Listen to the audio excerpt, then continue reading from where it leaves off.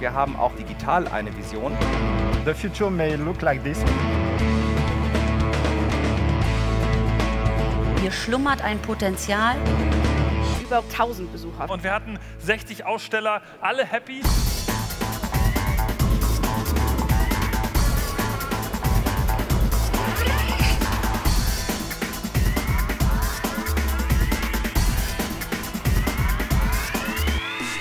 Das, was ich mitbekommen habe, hat mich absolut begeistert.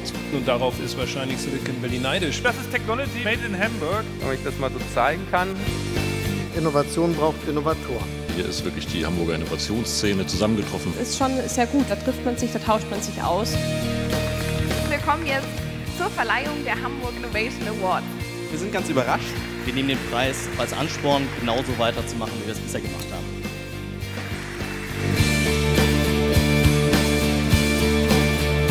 Wollen weitermachen, natürlich. Man fühlt richtig so einen Spirit und eine Aufbruchsstimmung und das braucht Hamburg. Da kommt einiges auf uns zu, was total spannend wird.